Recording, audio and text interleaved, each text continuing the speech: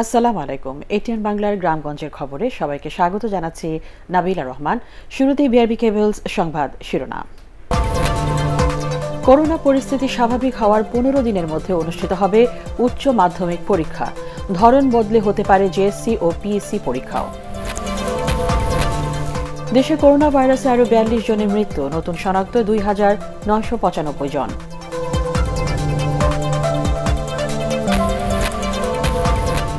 পল্টনের police চেকপোস্টে বোমা বিস্ফোরণ মামলার পাঁচ জঙ্গি সিলেটে গ্রেপ্তার। হামলার পরিকল্পনা ছিল শাহজালালের মাজারেও। এবং সিনহা হত্যা মামলায় কক্সবাজারে চার পুলিশ সহ সাতজন সাত দিনের রিমান্ডে।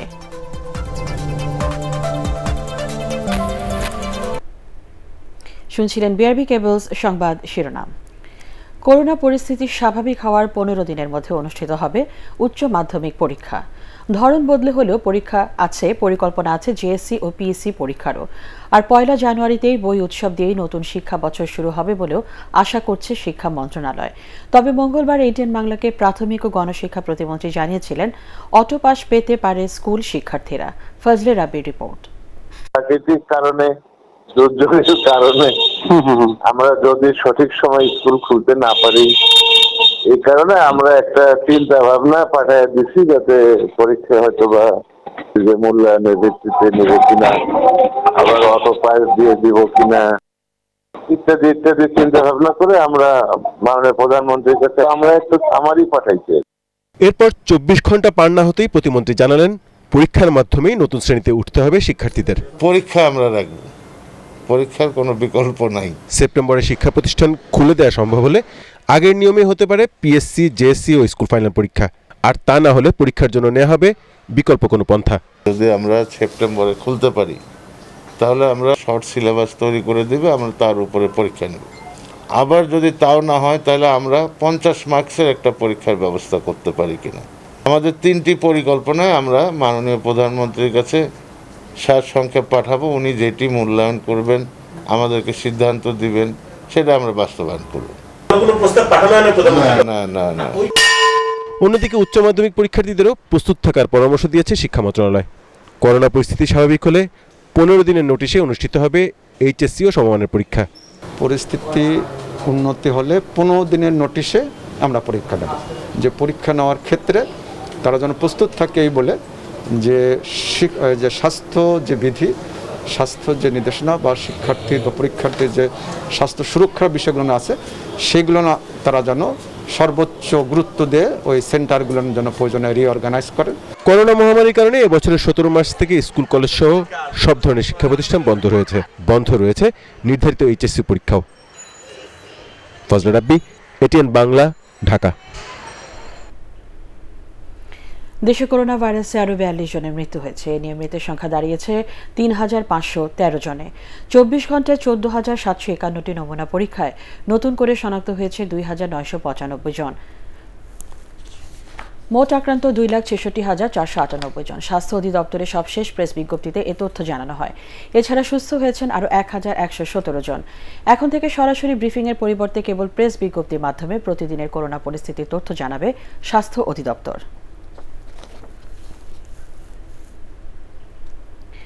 খুলনা, সিলেট আর কুমিল্লায় আশঙ্কাজনক হারে বেড়েছে করোনা সংক্রমণ ও মৃত্যুর সংখ্যা। গেল চব্বিশ ঘন্টায় এই তিন জেলায় চোদ্দ জন সহ সারা দেশে করোনা ও এর উপসর্গ নিয়ে প্রাণ হারিয়েছে আঠারো জন। প্রতিনিধিদের তথ্য ও ছবি নিয়ে রিপোর্ট করছেন মইনুল আহসান। ঈদের পর খুলনায় আবারও বেড়েছে করোনায় মৃত্যু ও সংক্রমণ। একই দিনে খুলনায় হাসপাতালে চিকিৎসাধীন অবস্থায় করোনায় একজন ও এর উপসর্গ নিয়ে চারজনের মৃত্যুর খবর পাওয়া গেছে। বিভাগের দশ জেলায় নতুন করে তিনশো নয় জনের দেহে করোনা শনাক্ত হয়েছে। এ পর্যন্ত বিভাগে আক্রান্ত হয়েছে প্রায় পনেরো হাজার। কুমিল্লায় লাফিয়ে লাফিয়ে বাড়ছে করোনায় মৃতের সংখ্যা। জেলায় নতুন করে করোনায় এক নারী ও এর উপসর্গ নিয়ে আরও চারজন প্রাণ হারিয়েছে। জেলায় এ পর্যন্ত প্রাণ গেছে একশো একান্ন জনের, নতুন শনাক্ত পঁয়তাল্লিশ। সিলেটে করোনায় দুই পুরুষ ও দুই নারী সহ চারজনের মৃত্যুর খবর পাওয়া গেছে। নতুন করে আক্রান্ত হয়েছে উনচল্লিশ জন। জেলায় এ পর্যন্ত করোনায় একশো বিয়াল্লিশ জন মারা গেছে আর আক্রান্ত হয়েছে প্রায় পাঁচ হাজার। গত চব্বিশ ঘন্টায় বরিশাল বিভাগে করোনায় একজনের মৃত্যু হয়েছে। তার বাড়ি পটুয়াখালীর কলাপাড়ায়। একই সময়ে বরিশাল বিভাগের ছয় জেলায় নতুন করে আক্রান্ত হয়েছে পুলিশ সহ বাহাত্তর জন। ঠাকুরগাঁয়ে হাসপাতালে চিকিৎসাধীন অবস্থায় পঁচাত্তর বছর বয়সী এক বৃদ্ধের মৃত্যু হয়েছে। এ নিয়ে জেলায় করোনায় আক্রান্ত হয়ে মৃতের সংখ্যা দাঁড়াল নয়ে। তিন চিকিৎসক সহ নতুন করে আরও সাতজন করোনা আক্রান্ত হয়েছে। এসেছে, তাদের জন্য আমাদের যে স্থানীয় কাউন্সিলর তাকে লিস্ট করতে বলা হয়েছে। ঝালকাঠির নলছিটিতে করোনা উপসর্গ নিয়ে একজন এবং শেরপুরে করোনায় এক ব্যবসায়ী মারা গেছেন। এছাড়া চট্টগ্রামে একশো উনপঞ্চাশ, নোয়াখালীতে পঞ্চাশ, শরীয়তপুরে সাতচল্লিশ জন, ব্রাহ্মণবাড়িয়ায় তেইশ, জামালপুরে সতেরো, নেত্রকোনায় ছিচল্লিশটি নমুনা পরীক্ষায় এক চিকিৎসক সহ ছয়জন শেরপুরে পুলিশ সুপারের স্ত্রী ছেলেসহ ষোলো জন, যশোরে অতিরিক্ত পুলিশ সুপার সহ মোট উনসত্তর জন আক্রান্ত হয়েছে। নাটোরে করোনা আক্রান্ত হয়েছেন সদর উপজেলা পরিষদ চেয়ারম্যান শফিকুল ইসলাম রমজান। মইনুল আহসান, এটিএন বাংলা। রাজধানীর পল্টন পুলিশ চেকপোস্টে বোমা বিস্ফোরণ মামলায় জড়িত নব্য জেএমবি সামরিক প্রশিক্ষক সহ পাঁচজনকে সিলেট থেকে গ্রেফতার করেছে কাউন্টার টেরোরিজম ইউনিট। তাদের কাছ থেকে উদ্ধার করা হয়েছে বোমা তৈরির সরঞ্জাম। হজরত শাহজালালের মাজারে বোমা হামলার পরিকল্পনা থাকলেও গোয়েন্দা তৎপরতার কারণে তা সম্ভব হয়নি বলে জানান কাউন্টার টেরোরিজম ইউনিট প্রধান মনিরুল ইসলাম। রিপোর্ট মাহমুদুর রহমানের। করোনাকালীন সময়ে জঙ্গিরা যাতে কোনো ধরনের নাশকতা চালাতে না পারে, এ লক্ষ্যে সারা দেশেই গোয়েন্দা নজরদারি বাড়ায় আইনশৃঙ্খলা বাহিনীর সদস্যরা। পুলিশের বিশেষায়িত ইউনিটগুলোকে দিক নির্দেশনাও দেওয়া হয় পুলিশ সদর দপ্তর থেকে। এরই মধ্যে গত চব্বিশ জুলাই রাতে রাজধানীর পল্টন পুলিশ চেকপোস্টের কাছে বোমার বিস্ফোরণ ঘটায় জঙ্গিরা। এছাড়াও নওগাঁর একটি মন্দিরে জঙ্গিরা হামলা করে। এ দুটি ঘটনা তদন্ত করতে গিয়ে সিলেট থেকে পাঁচ জঙ্গিকে গ্রেপ্তার করে কাউন্টার টেরিজম ইউনিটের সদস্যরা। তারা গত মাসে বেশ কয়েকটি অ্যাটেম্প নিয়েছে। গত তেইশ তারিখে হজরত শাহজালাল মাজারে তারা একটা হামলা চালাতে চেষ্টা করেছে কিন্তু সেটি ইন্টেলিজেন্স আগে ভাগে পাওয়ায় সেটি তারা চালাতে পারেনি তারা ব্যর্থ হয়েছে। চব্বিশ তারিখেও তারা আসলে হামলা চালানোর চেষ্টা করেছে তো তারা কোথাও কার্যকর হামলা চালাতে না পেরে পল্টনে পুরানা পল্টনে একটা বোমা রেখে গিয়েছিল সেটি পরে বিস্ফোরিত হয়েছে তাতে কোনো হতাহত বা কেউ আহ, মানে কোনো ক্ষয়ক্ষতি সেটি হয়নি। সংবাদ ব্রিফিংয়ে আরও জানানো হয় নব্য জেএমবি সামরিক শাখার অন্যতম সদস্য শেখ সুলতান মোহাম্মদ নাইমুজ্জামান সিলেটের শাপলাবাগের একটি বাসায় কম্পিউটার প্রশিক্ষণের আড়ালে জঙ্গি প্রশিক্ষণ দিচ্ছিল। শাহজালাল বিজ্ঞান ও প্রযুক্তি বিশ্ববিদ্যালয় থেকে রাষ্ট্রবিজ্ঞান অনার্স সম্পূর্ণ করা নাইমুজ্জামান ইসলামী ছাত্র শিবিরের রাজনীতির সাথে জড়িত ছিল। অন্যান্য দেশে সন্ত্রাসীরা বড় বড় ঘটনা ঘটিয়েছে এখানে তারা কোথাও ফেক বোমা কোথাও বা দেখেছি আমরা যে একেবারে নিম্নমানের যে ককটেল সেগুলো পর্যন্ত তারা ক্যাপাসিটি অর্জন করছে। তো সেই ক্যাপাসিটিও এটার ভিতর দিয়ে আবার আমরা মোটামুটি সেটি বিপর্যস্ত করতে পেরেছি।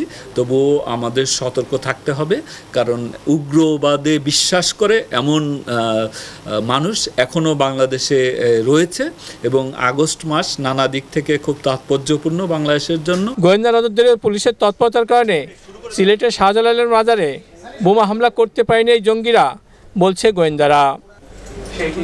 মাহমুদুর রহমান, এটিএন বাংলা, ঢাকা।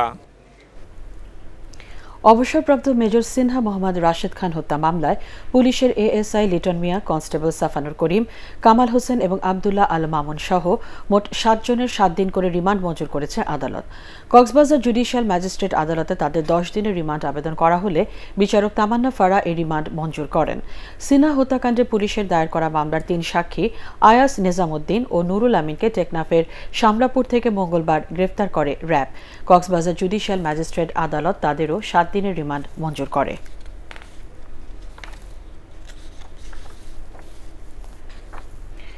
ক্রসফায়ারের ভয় দেখিয়ে অর্থ আদায়ের অভিযোগে ব্রাহ্মণবাড়িয়ার আখাউড়া থানার পাঁচ পুলিশের বিরুদ্ধে সিনিয়র জুডিশিয়াল ম্যাজিস্ট্রেট আদালতে মামলা হয়েছে। দুপুরে আখাউড়া পৌর শহরে মসজিদ পাড়ার বাসিন্দা হারুন মিয়া বাদী হয়ে মামলাটি দায়ের করেন। অভিযুক্তরা হলেন আখাউড়া থানা পুলিশের SI Motiur Rahman, SI Humayun, ASI Khorshed, constable Prashanta ও সৈকত। বিষয়টি জেলা পুলিশ সুপার কার্যালয় থেকে তদন্ত করে আগামী তিরিশ কার্যদিবসের মধ্যে প্রতিবেদন দাখিলের আদেশ দিয়েছে আদালত।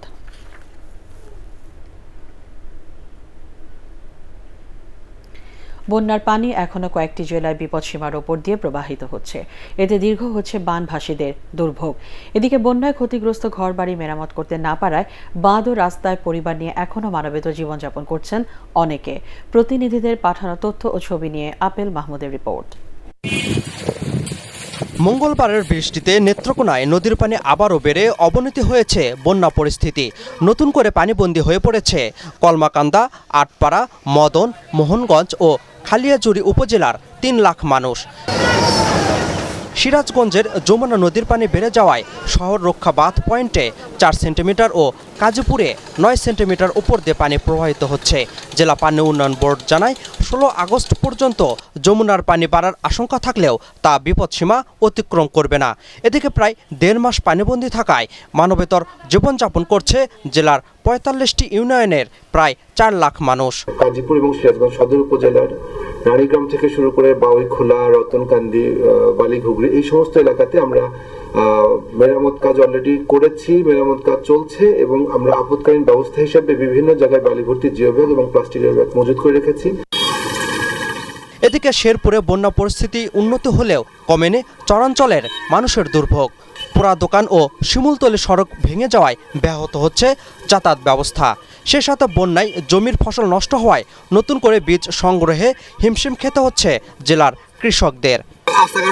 চলে গেছে বিভিন্ন ধরনের সমস্যা, লোকজন হাট বাজার করতে পারতে- পারতেছে না, চলাফেরা করতে পারতেছে না যাওয়ার দেয় না, কত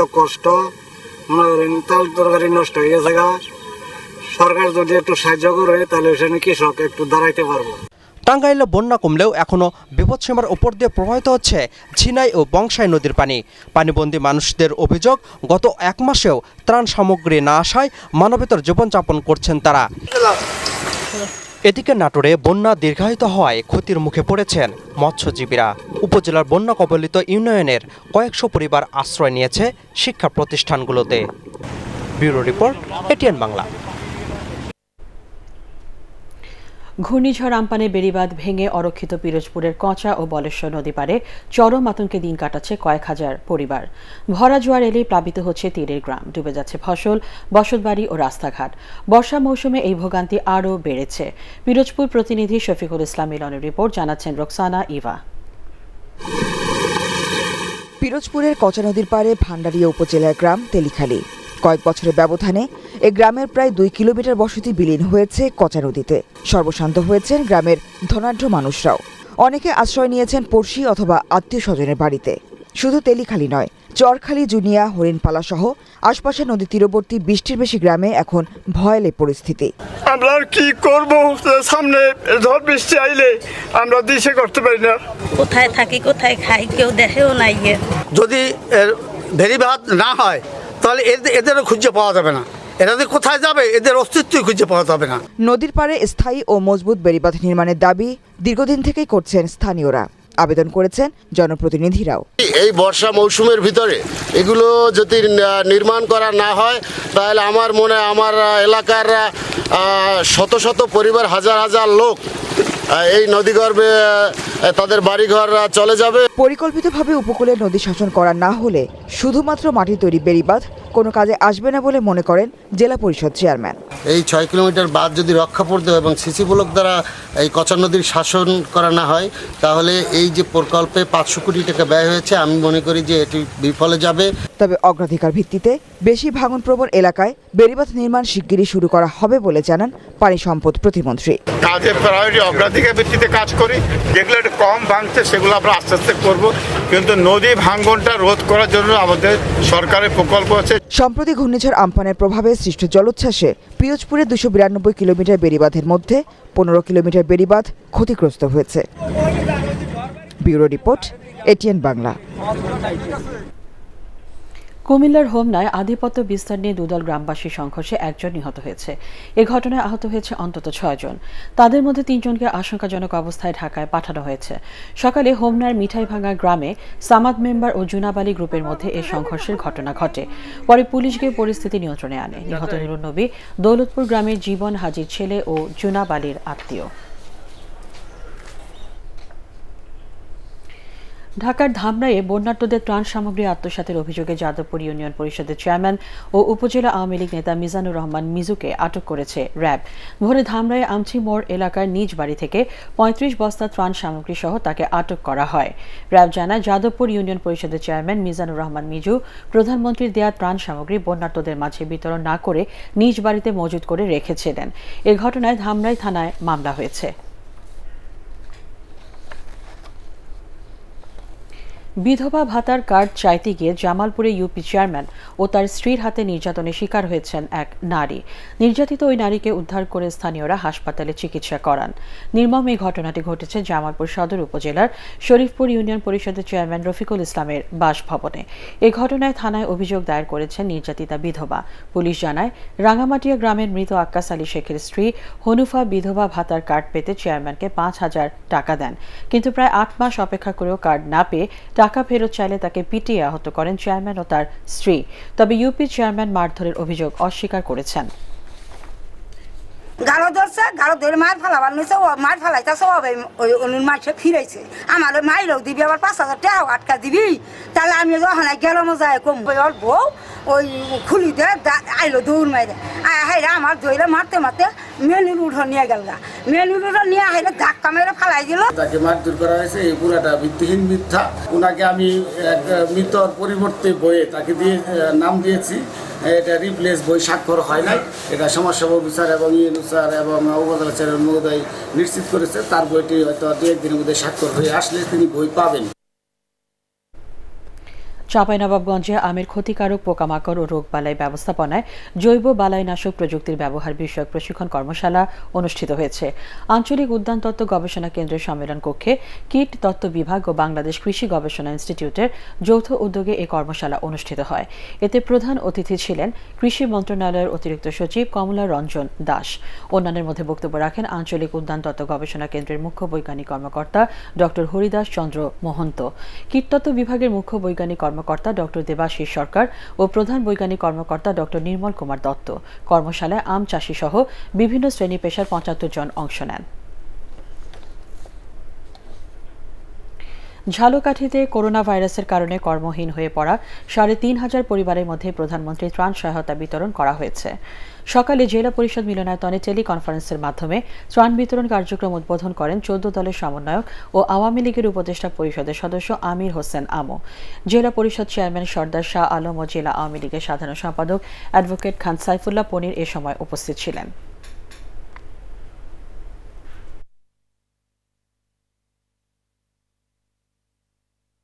খুলনা মেডিকেল কলেজ শিশু হাসপাতাল এবং সদর হাসপাতালে সংসদ সদস্য শেখ সালাউদ্দিন জুয়েলের পক্ষ থেকে অক্সিজেন কনসেন্ট্রার সহ বিভিন্ন চিকিৎসা সরঞ্জাম বিতরণ করা হয়েছে। দুপুরে খুলনা প্রেস ক্লাবের সিটি মেয়র তালুকদার আব্দুল খালেক এসব সরঞ্জাম হস্তান্তর করেন। করোনা রোগীদের শ্বাসকষ্ট নিরসনে এই অক্সিজেন কনসেন্ট্রেটর বিশেষ ভূমিকা রাখবে বলে জানিয়েছেন সংশ্লিষ্টরা।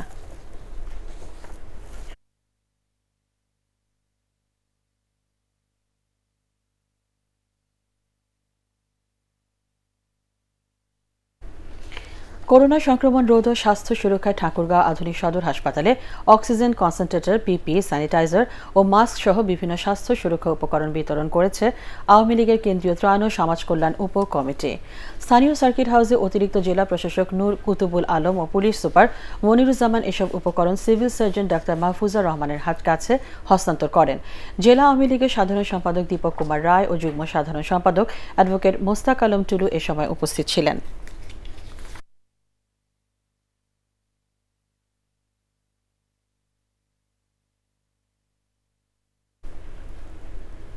টাঙ্গাইলের বাসাইলে বন্যার্থদের মধ্যে ত্রাণ সামগ্রী বিতরণ করেছে জেলা বিএনপি।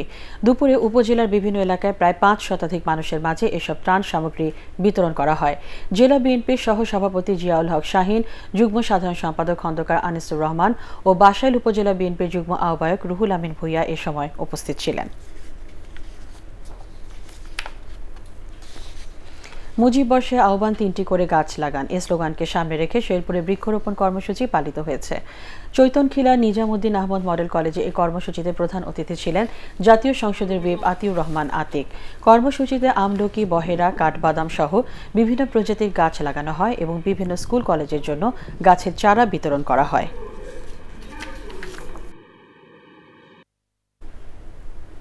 খাগড়াছড়ির রামগড় উপজেলায় নতুন মুক্তিযোদ্ধা কমপ্লেক্স ভবন উদ্বোধন করা হয়েছে।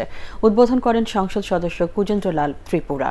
সংরক্ষিত আসনের সংসদ সদস্য বাসন্তী চাকমা, উপজেলা নির্বাহী অফিসার সজীব কান্তি রুদ্র, উপজেলা চেয়ারম্যান বিশ্বপ্রদীপ কুমার কারবারি ও উপজেলা মুক্তিযোদ্ধা সংসদের সাবেক কমান্ডার মফিজুর রহমান অনুষ্ঠানে অন্যান্যের মধ্যে উপস্থিত ছিলেন। দুই কোটি ত্রিশ লাখ টাকা ব্যয় ভবনটি নির্মাণ করা করেছে এলজিইটি